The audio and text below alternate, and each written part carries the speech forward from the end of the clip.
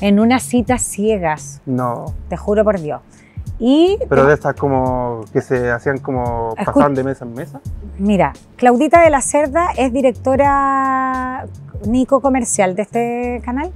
La directora comercial de este canal, en esa época, que éramos amigas, eh, más su ex marido, eh, un día me llaman por teléfono, ella tenía una amiga, que esa amiga era la mejor amiga de Andrés. Y ellos también eran amigos míos. Entonces me dicen, me llaman por teléfono y me dicen, oye, te queremos presentar a alguien. No, yo dije, otra cita ciegas, qué cacho.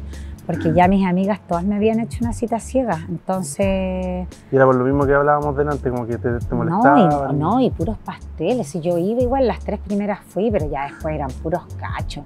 Te juro que en una estaba así eh, en mi casa y suena el citófono en- del departamento y me dice el conserje, hoy la esperan abajo. Te juro por Dios que cuando bajo y veo a la persona sentada ahí, me paré y así, me quería hacer la huevona y quería seguir caminando porque caché que no íbamos a tener ninguna onda, que era como mi tío.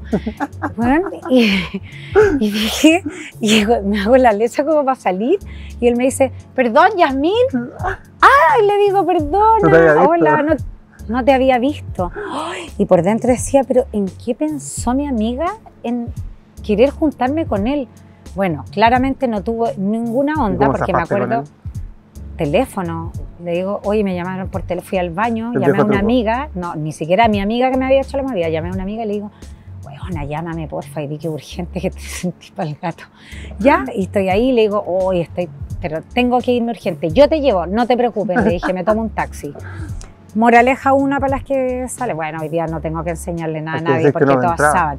No, hoy día primero hay que ir solita. La que quiere ir a una cita ciega, jamás que te pasen a buscar. Mira qué ingenua yo. ¿Cachai? Como afuera de las pistas. Hoy día uno tiene que ir en su auto, en taxi, en Uber, lo que queráis sola. Cosa que si no te dan ganas, te vais. ¿Cachai?